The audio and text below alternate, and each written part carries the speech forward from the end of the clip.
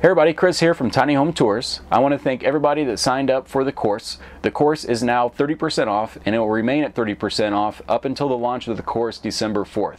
We still have plenty of bonuses, so if you're interested in living the tiny home lifestyle and the digital nomad lifestyle, be sure to click the link down below. Enjoy today's video. Have a great day. I'm Shyla. And I'm Brad. This is Sophia. And this is Cannoli. And this is our tiny home. We bought a Ram ProMaster 2500 series, the 159 inch wheelbase, and we've been on the road for uh, a little less than a year.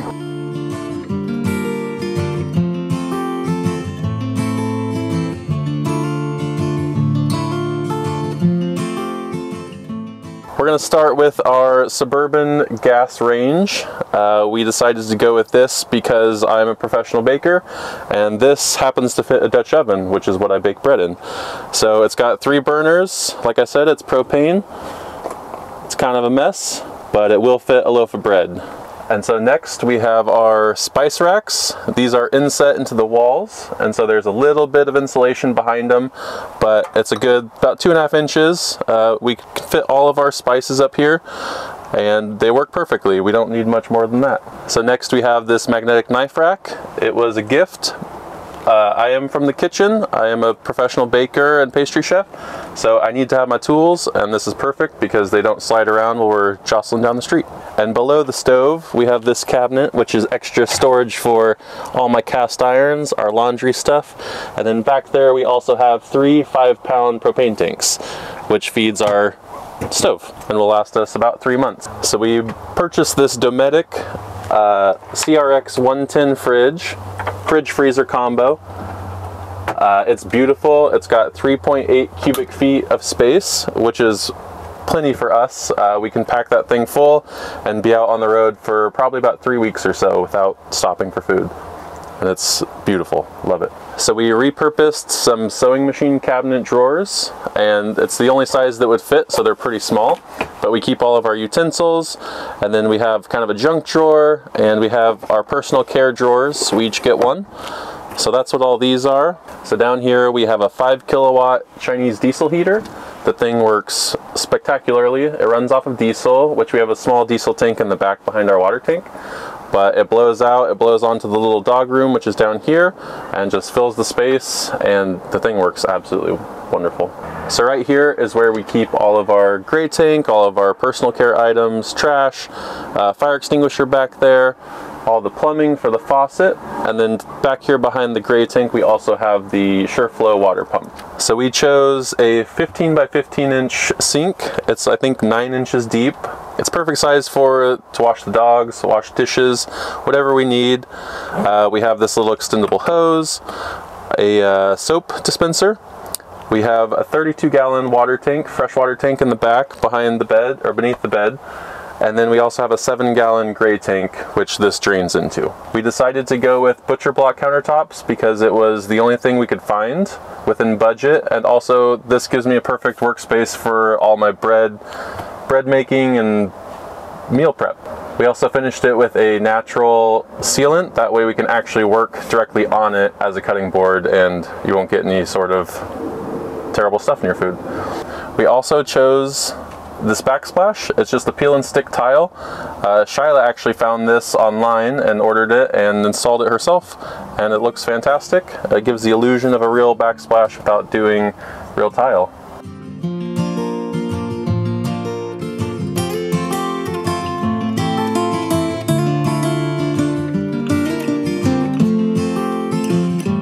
What inspired us to do van life was we both were in this spot in our lives where we were just looking for a change and the next big thing and we kind of fell into this YouTube rabbit hole of just unique living situations and we realized van life would be a perfect opportunity for us to full-time travel and check out the rest of the world. It took us a year to convert this thing, uh, but we also traveled on our weekends and really put the traveling first. Uh, we moved in when it was just a bed platform and subwalls and that was it. Um, we had no prior experience building, so this was all new to us, but I think it came out really nice. Mm -hmm. So we bought the van, it's a 2019, we bought it in 2020 for 35000 and I think we have about 15 to 20 grand into it. So we're looking somewhere around 55 grand that we have in, into this conversion. How we paid for the build out of the van is while we built out the van, we also worked. So we took a year to work, save up money so we could fund the build of the van.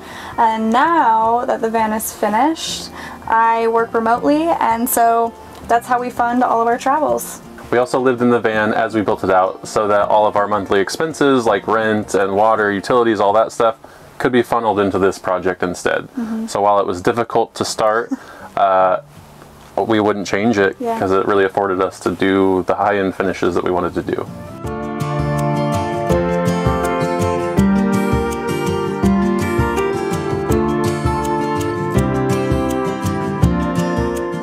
And so for the lighting, we decided to go with these beautiful 12 volt puck lights. They're about half an inch thick, so they fit perfectly with the ceiling that we decided to go with. Uh, we have two different zones. We have eight up here on the main ceiling, and then we also have four down here underneath the cabinetry. Uh, they are both on dimmer switches, which is very nice for mood setting.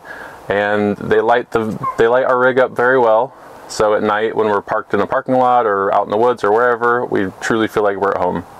So for the ceiling, we decided to go with a super thin 1 8 inch underlayment. That way I have enough clearance because I'm pretty tall. Uh, and then we found this really nice embossed wallpaper that my dad helped us put up, so shout out dad.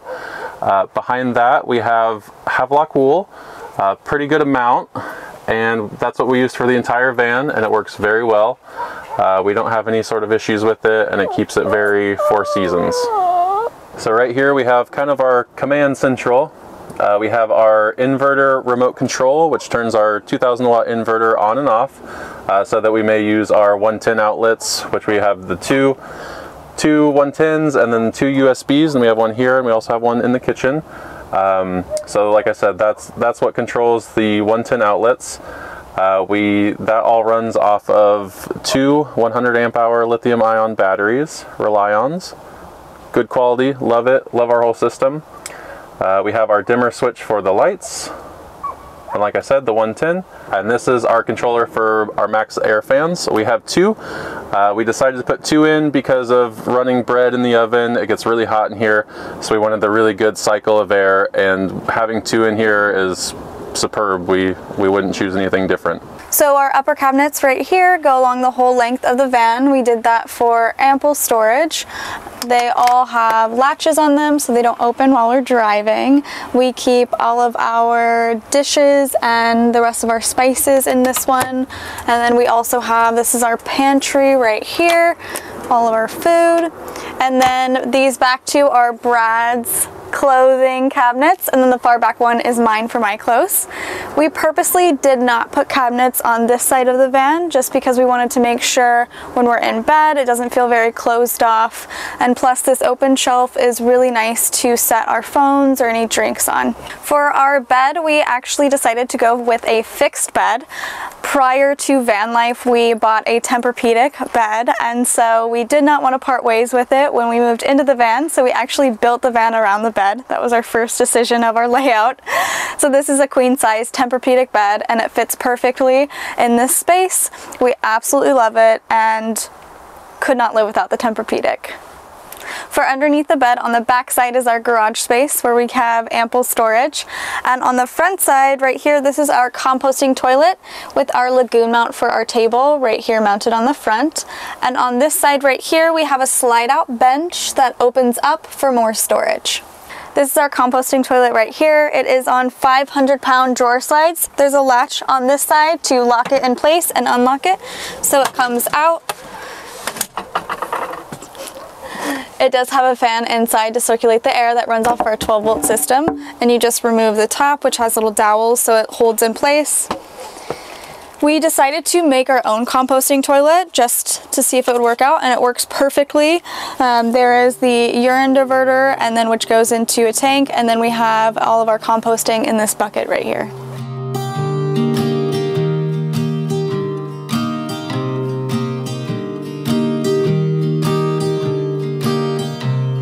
A few things that were a bit difficult while moving into the van were no water, no toilet, no fridge, no oven, really not a kitchen because we moved into it when it was empty. The only thing in the van, aside from our suitcases, was the bed behind us. We didn't have electricity or any lights, so there was definitely an adjustment period. But I will say it really made us appreciate the amenities as we added them into the van. So neither of us really had any sort of construction experience. Um, I am a professional pastry chef and baker by trade, and Shyla is a professional makeup artist, so we just had to learn it on the fly. But I'd say it turned out pretty well. Yeah, a lot of research, a lot of searching on YouTube. Yep. The hardest part for us of the build out process was, I'd say, the electrical. Definitely the electrical. Uh, neither of us had experience in that before, so it was all a learning curve. We had some help in the beginning, and uh, pretty much we just took it over and realized that we need to learn this. So that's what we did: is we learned it and uh, wired the whole thing up ourselves, and now we know how to fix it if something ever breaks. But it's also given us a lot of problems. Yes. And now we fully know the system Yes. and its capabilities. I'd say our relationship has strengthened quite a bit since moving into the van. Uh, we were solid before this, but this really pushes you into a tighter space and you just, you're always around the other person. And sometimes that might not be good, but if you're solid, it's not too bad. I enjoy it. Yeah, you definitely learn a lot about each other, but I think uh, we wouldn't have it any other way.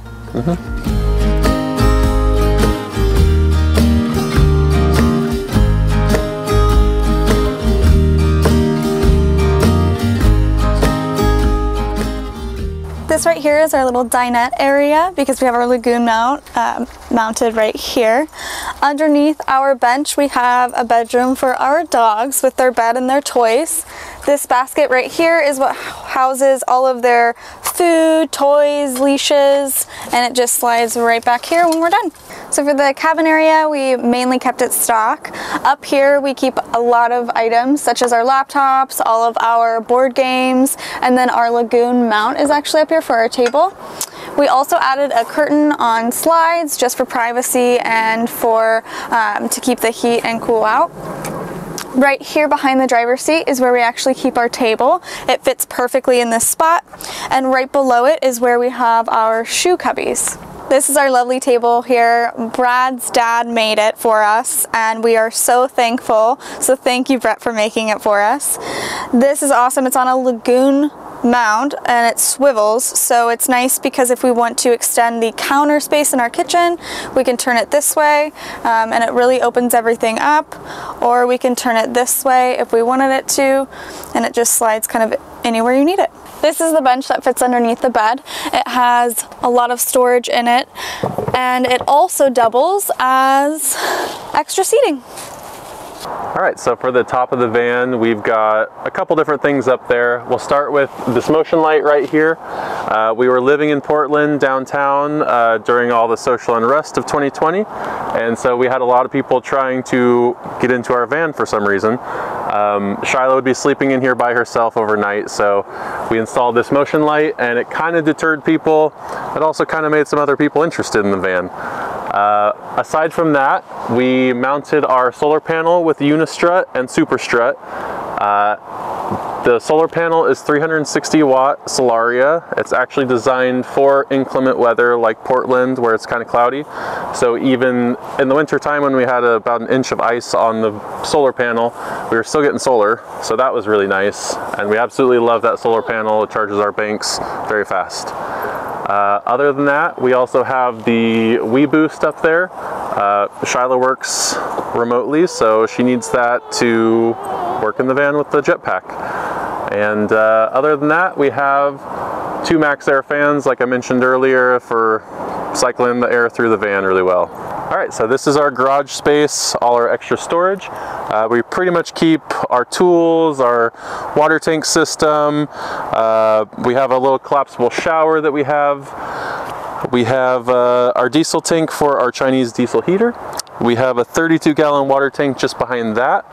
And then over on this side, we have our 2000 watt Cotek inverter, uh, solar charge controller, and then this is our weBoost cellular booster. And then our battery bank is just behind all this stuff.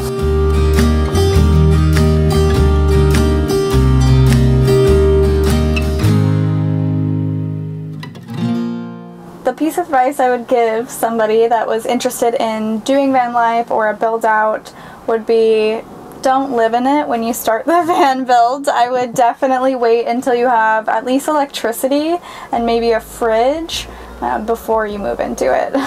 It's fun to do once, Yeah. but I wouldn't do it again. yeah, I wouldn't do it again.